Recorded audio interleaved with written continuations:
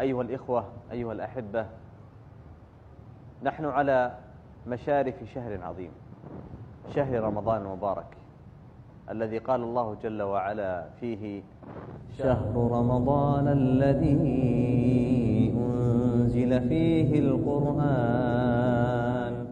فشهر رمضان المبارك أنزل الله جل وعلا فيه القرآن وكان جبريل يدارس النبي صلى الله عليه وسلم فيه. وكان السلف الصالح رحمهم الله يتفرغون في شهر رمضان للقرآن فهو شهر للقرآن الكريم كما بين الله سبحانه وتعالى ذلك في قوله تعالى شهر رمضان الذي أنزل فيه القرآن. ثم وصف الله جل وعلا ما يكون في هذا الشهر فقال هدى للناس وبينات من الهدى والفرقان. فمن شهد منكم الشهر فليصمه الله سبحانه وتعالى شرع الصوم لحكمة بينها سبحانه وتعالى وهي التقوى. فقال جل وعلا يا أيها الذين آمنوا كتب عليكم الصيام كما كتب على الذين من قبلكم لعلكم تتقون. أي أن التقوى تتبين وتتجلى في أعظم صورها في شهر رمضان. بل إن أعظم ما يتجلى في شهر رمضان هو الخشية والخوف من الله بالغيب. قال الله جل وعلا واصفا عباده المتقين الذين يخشون ربهم بالغيب.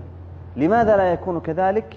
والمسلم يترك شهوته وشرابه وطعامه ولا حاجة إلى أن يراه أحد أو أن يرائي به كل ذلك خشية من الله جل وعلا وحده. ولذلك الله سبحانه وتعالى بين في الحديث القدسي فضل شهر رمضان بل عفوا بين الله جل وعلا شهر الصوم فقال كل عمل ابن آدم له إلا الصوم فإنه لي وأنا أجزي به.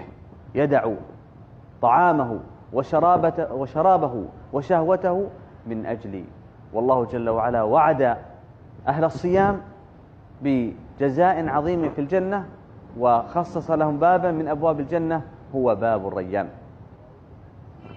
فأوصي نفسي وإياكم بأن نقوم في هذا الشهر بأعظم ما يقوم به المسلم وأن نقتدي بالنبي صلى الله عليه وسلم بما يفعله ويطبقه في في هذا الشهر من قراءة للقرآن ومن صدقة ومن صلة للأرحام. ثم نجتهد غاية الجهد كما كان النبي صلى الله عليه وسلم يجتهد في العشر الأواخر. فإن فيها ليلة هي من أعظم الليالي. العمل فيها يعادل ما يزيد على ثلاث وثمانين سنة. كما وصف الله جل وعلا ذلك في سورة القدر فقال خير من ألف شهر. ليلة القدر خير من ألف شهر وهذا وصف عظيم. فالعمل فيها يكافئ ثلاث وثمانين سنة وزيادة والدعاء فيها مستجاب. فكان النبي صلى الله عليه وسلم في العشر الأواخر من رمضان يعتكف ويشد المئزر كناية على أنه يترك الجماع ويتفرغ لعبادة ربه جل وعلا. فأوصي نفسي وإياكم بالحرص على هذا الشهر واغتنام أوقاته فيه. نسأل الله سبحانه وتعالى أن يبلغنا شهر رمضان.